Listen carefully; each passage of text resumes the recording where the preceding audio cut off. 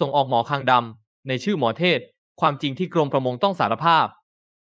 กลายเป็นวาระแห่งชาติไปเป็นที่เรียบร้อยแล้วสำหรับวิกฤตปลาหมอคางดำที่แพร่ระบาดไปทั่วประเทศ เนื่องด้วยอาศัยได้ทั้งในน้ำจืดน้ำกร่อย และมีสภาวะทนความเค็มได้สูง แถมแค่อายุ 3 เดือนก็ขยายพันธุ์ได้แล้ว อีกทั้งมีไข่ตลอดทั้งปี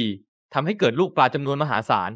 ถือเป็นมหันตภัยร้ายทำลายที่น่าปริวิตกขั้นสุด จนต้องมีการระดมสมองกันเป็นขนาดใหญ่ว่า จะมีวิธีกำจัดเอเลี่ยนสปีชีส์สายพันธุ์นี้ได้อย่างไร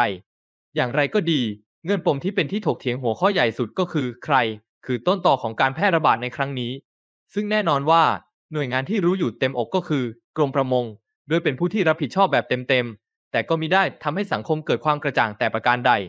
ทั้งนี้เมื่อมีการสืบค้นย้อนไปพบว่า มีการอนุมัตินำเข้าปลาหมอคางดำเข้ามาในประเทศไทยครั้งแรกเมื่อ 18 ปีก่อน หรือเมื่อปี 2549 โดยมีบริษัทการเกษตรชื่อดังรายหนึ่ง ได้ยื่นขอนำเข้าต่อ คณะกรรมการด้านความหลากหลาย และความปลอดภัยทางชีวภาพของกรมประมง IBC และคณะกรรมการดังกล่าว ก็มีมติให้อนุญาตให้นำเข้ามาจากสาธารณรัฐกาหน้า ทวีปแอฟริกา เพื่อนำมาปรับปรุงสายพันธุ์ปลานิล4 ปีต่อมาช่วงปลายปี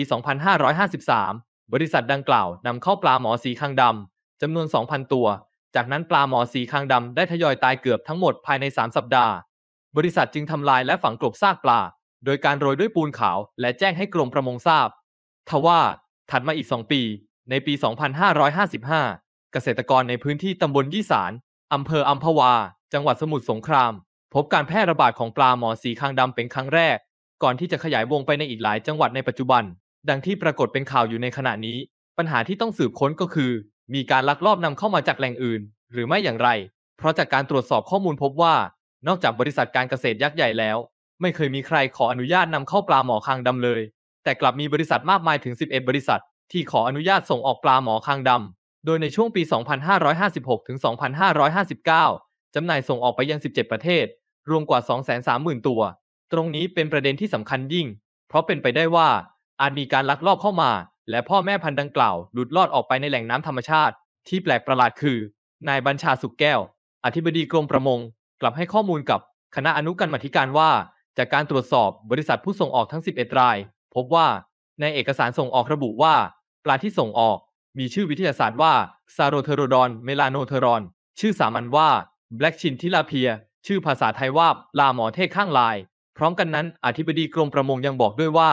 น่าจะเป็นความผิดพลาดจากการกรอกข้อมูลของเจ้าหน้าที่ชิปปิ้งที่ส่งออก ที่ใส่ชื่อวิทยาศาสตร์ และชื่อสามัญของปลาหมอเทศข้างลายผิด นี่คือเรื่องที่คำไม่ออก และกลายเป็นประเด็นที่ต้องแสวงหาความจริงว่า เป็นไปได้หรือที่จะกรอกชื่อผิดมา 4 ปี และกรอกชื่อผิดทั้ง 11 บริษัท